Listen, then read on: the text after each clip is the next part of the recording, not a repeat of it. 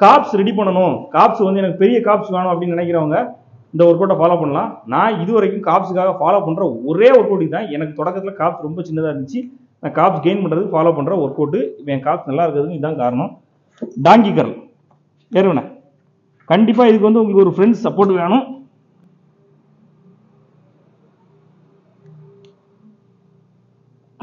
இறங்கிக்கோ. ஃப்ளோர்லேருந்து கொஞ்சம் அப் பண்ணியிருக்க மாதிரி ஏதாவது ஒரு கட்டையோ இல்லை இந்த மாதிரி பிளேட்டோ வந்து போட்டுக்கணும். கண்டிப்பாக சரியா? போட்டு அதுக்கு மேலே தான் பண்ணணும்.